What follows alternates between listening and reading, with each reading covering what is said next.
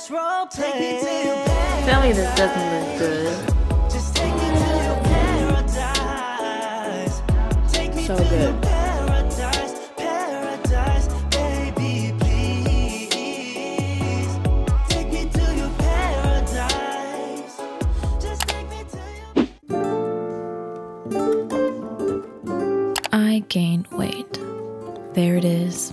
I even wrote it. Yep. Now let's talk about it. Let me tell you why I gained weight and how I got to my heaviest weight ever.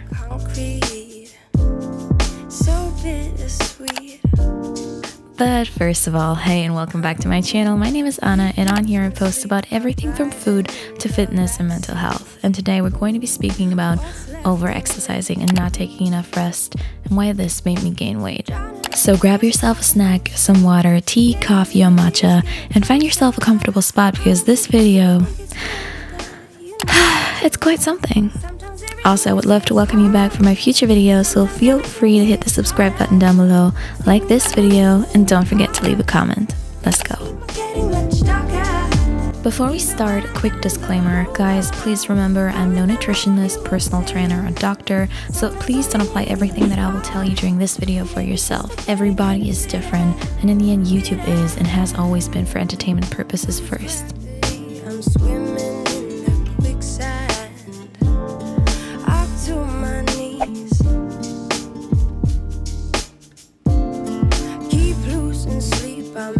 To be frank with you, I didn't plan this video. I never expected myself to post such a video. A video about weight gain in the slightest was so far off my agenda. Even when I noticed that I gained weight, I just pushed it to the side. But over the last few weeks, I've learned one or two things, and I think that these things are too important not to talk about them, especially because they are often overlooked. everything just gets harder. Now, we all know the obvious reasons for weight gain. You don't move enough, you eat too much, you might have a hormonal dysfunction, but food and exercise are known to play the biggest part. Everyone tells you to hit the gym or to join a program when you complain about your body. Everyone tells you that you should exercise more often. But no one tells you that you can actually over exercise and that that might lead to the opposite of your goals. This video will not be about any diet or any weight loss hacks, so please don't be disappointed. I will make a video about that in the future, but in this video, I really want to focus on over exercising because I don't want you guys to make the same mistakes that I did when I started my journey here on YouTube. Don't judge. When we're talking about over exercising, we mean working out hard and not taking rest days. So, this video will also highlight the importance of taking enough rest. Shout out to everyone telling me on my very first video that I should take rest days, and I thought I knew better. I didn't.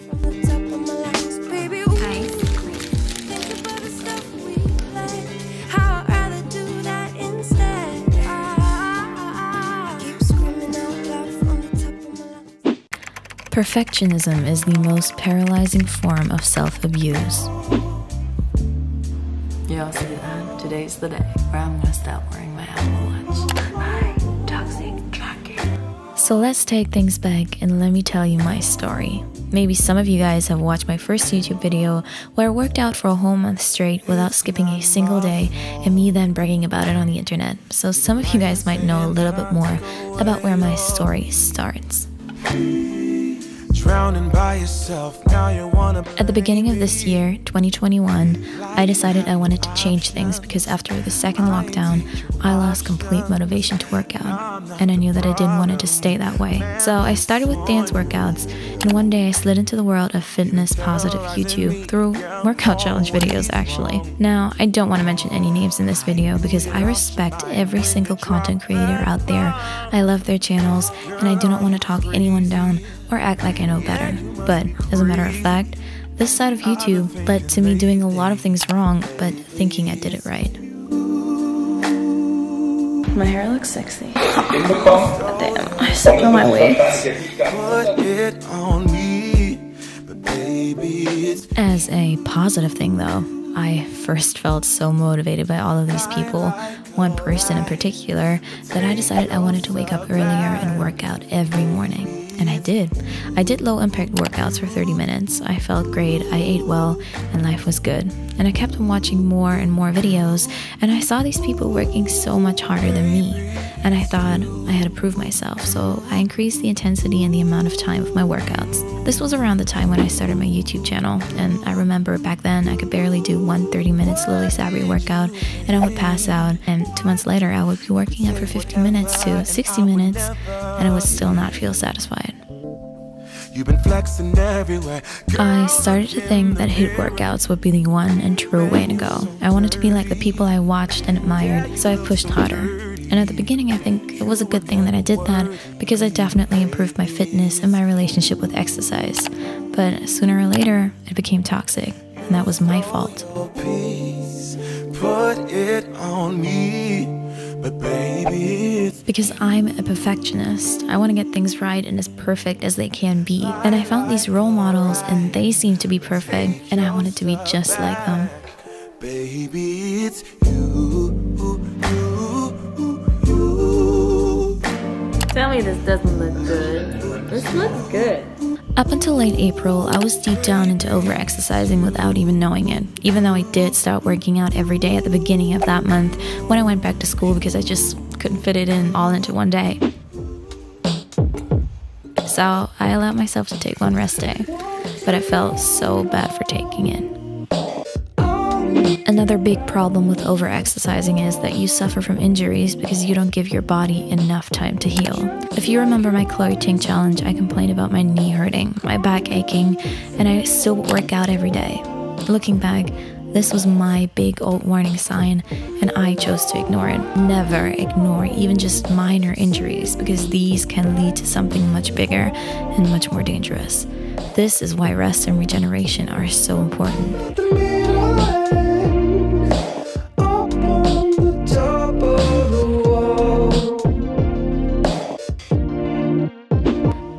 The reason as to why I slid into overexercising lies in my childhood. I always struggled with my weight, and I was bullied for the way that I looked. Losing all of that weight left me in great fear of weight gain throughout all of the following years. I would try diets, workout challenges, getting a routine, but none would stick. So when I finally found joy in exercise, I thought that I would finally be on the path to make sure that I would never gain weight again and just be healthy. That I would just compensate everything with exercise because muscles burn calories and that means that you can eat more or you will even lose weight. And this right here is exactly the mindset of a lot of people who, first of all, are deep down into dieting, or second of all, deep down into overexercising. After two months of working out daily, I clearly noticed that I had gained weight. And I didn't know why because my diet felt the same. I eat healthy and I worked out regularly. It would take a few weeks until YouTube recommended me a brilliant video from Lena Snow addressing her own weight gain and mentioning over exercising as her main cause. I will link her video down below so that you can check it out if you like to. So, to wrap things up, over the course of three months, I had gained 7 kg, which equals around 70 pounds, and about 4 centimeter, which are 1.5 inches around my waist, leaving me at my highest weight ever. I put up some before and after pictures for you, and I don't know how much they actually show, but just know that I would have to buy bigger pants now. I will have to pee so much today because I'm on to my second bottle of this and watermelon. Stay hydrated. That's all I can say. Okay, but why does too much exercise even make you gain weight?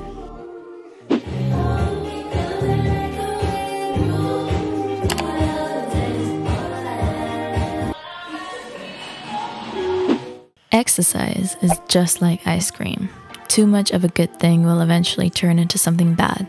The difference is, we all know that we shouldn't eat too much ice cream because we will get stomach cramps and sugar overdose, but just a few of us are aware that too much exercise can be dangerous as well.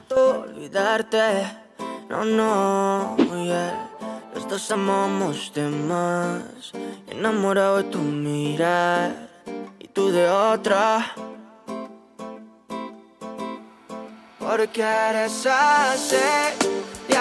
Over-exercising brings different symptoms with it. Some are the so-called overtraining symptoms, which show in fatigue and exercise addiction, and some are stall weight loss or even weight gain.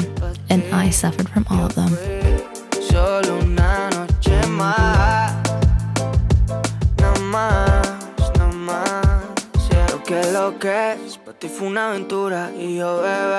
Quería ser tu Romeo la última vez.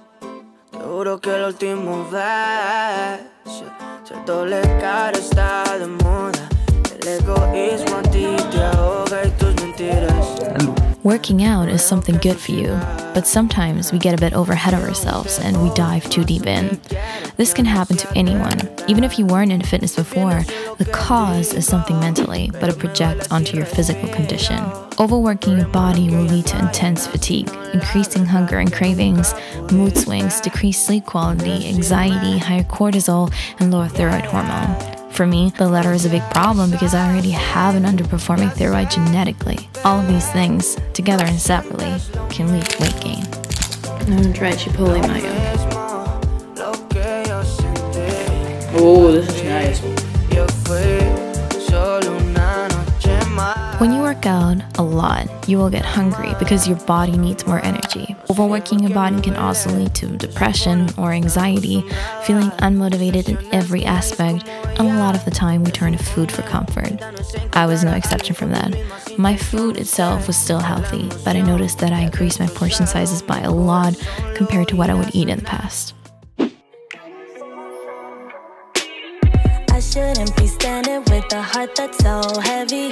I shouldn't be up with all the weight that I carry. Okay, let's get a little bit scientific. A workout is also a stressor for your body. In small doses, this can be good and beneficial as it will cause muscle growth. But if you overdo it, just like me, and you don't give your body rest, instead, you're just increasing the intensity of your workouts, the stress just gets higher and higher, leading to a never leaving inflammation. Once you enter the zone of chronic stress, your body increases its cortisol and insulin levels, which eventually leads to weight gain, especially around your abdominal area. This is exactly what I noticed for myself since my legs got more toned and muscular, and my arms and back pretty much stayed the same, but my stomach gained fat and water. be better, better for my soul. You're the one I'll stay for, though I wanna go. Find somebody better, better for my soul. Dreaming about the good days when Keep in mind, not only workouts are causing stress for your body, which is why when you're highly stressed, you're more likely to gain weight. This applies to all of us, and it's often overlooked when we're searching for the reason for a weight gain. For me, not only my overtraining was causing me stress, but also my finals in uni, pressure of performing well in practical classes, and doing well for my YouTube channel. Stress can very well be physical and mental. All of the stress affected not only my weight, but also my sleep quality, with me being constantly tired and having a very slow digestion. me, lead me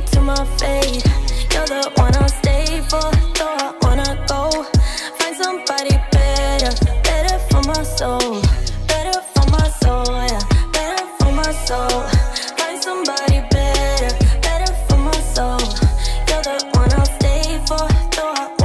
How can you heal from over exercising, you ask? We will get into that in a bit more detail during the last section, which is just about to start, but no, already. It's simple rest, sleep, and have good nutrition. Remove the sources of stress, as many as you possibly can. And suddenly you know it's time to start something new and trust the magic of beginnings. Okay, how cheesy is it that I used a Drake quote for this last section of today's video? But if it fits, it fits, you know? When I learned that I might be over exercising, I knew it was time to change things because I wasn't happy. I had a hard time getting up in the morning. I needed a nap every single day. I couldn't find the motivation to work out. I couldn't give my very best during my workouts, and all of my misery didn't even show any results, which made everything worse for my mental health. I felt like I ended up right where I started back in February, and instead of going forward and making progress, I felt like I was going backwards. And this was never the plan.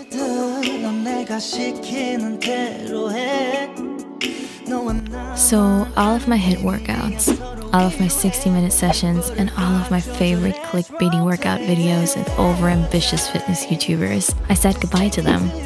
Or at least, see ya again. Because I just need the break. During this week, I did one weightlifting video and it wasn't high intensity.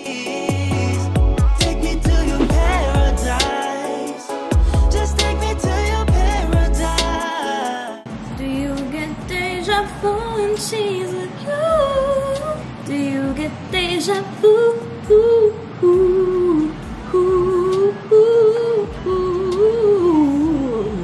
I am so hungry.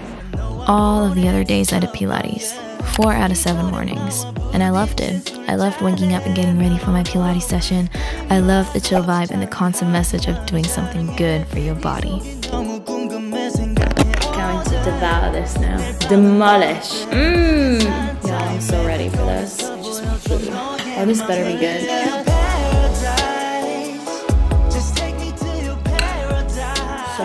I was still taking just one rest day, but not every day was high intensity, just one or two of them. And on my actual rest day, I felt good. I enjoyed my free time. I went for a walk. I just lived my life and I didn't even think about working out right now. And that's a first for me in three months. Food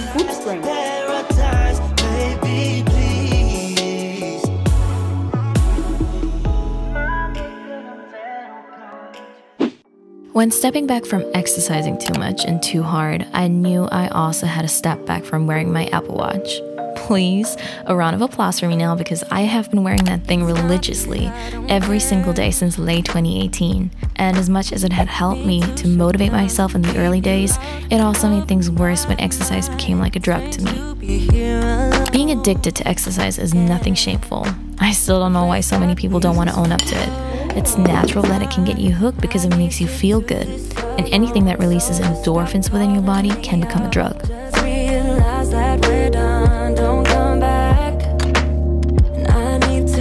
I think it's important to be honest. I love the fitness positive community, but there is no need to preach the picture of working out daily to fit in. You don't have to wake up at 6 a.m. You don't have to eat three big meals. You don't have to do 40 minutes of HIIT every day.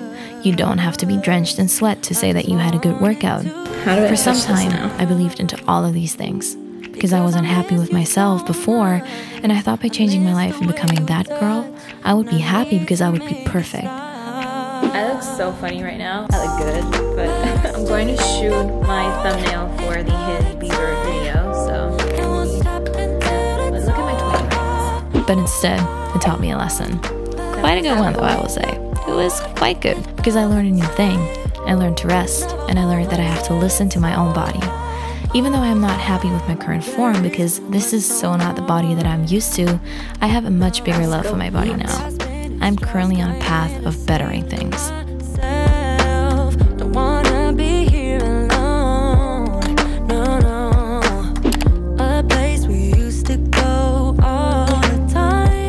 Just to sum things up, here's what I learned and what I will change. Too much exercise is not the answer. Over exercising can make you gain weight. Rest is more than just important. Eat more nutrient dense food. Get your portion sizes back under control. Do more low impact workouts. Find joy in exercise. If you're sick or sore, take a rest. Taking a rest but seeing others not having to doesn't mean that you are weak. Maybe they want to take a rest but they can't. Or maybe they just feel more relaxed than you do right now. Don't compare yourself, just listen to your own body. The lifestyle you see with many popular YouTubers often will not lead to a healthy life for yourself. These videos are edited, a lot of the time the message is portrayed in an overly exaggerated way, and no one ever said that these people actually have the perfect lifestyle. Learn to differentiate between being told to eat intuitively and people who seem to overdo it. That, by the way, is one of my biggest struggles because a lot of these eating intuitively YouTubers have led me into thinking that snacking on chips and cake at 1 a.m. is completely normal and just intuitive, whereas in reality, this is more likely to be binge eating. But that's a whole nother topic.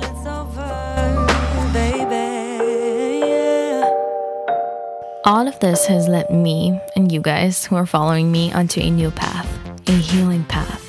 Yes, I'm going to lose that weight because I want to, not because I think I have to, and I will take you guys with me. I will also take you with me on a journey of finding peace with my oh. inner self and rest. I'm ready to go to bed. That was so bad. I hope you guys liked this video. If you did, don't forget to comment, like, and subscribe, and I will see you next week. Take care.